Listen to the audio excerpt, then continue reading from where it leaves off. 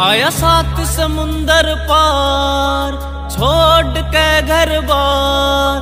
सात समुंदर पार, छोड़ के घर बार। टूक मन कौन खिलावेगा कौन खिलावेगा? माँ पूत तेरे के लाड, अड़ कौन लड़ावेगा? तेरे पूत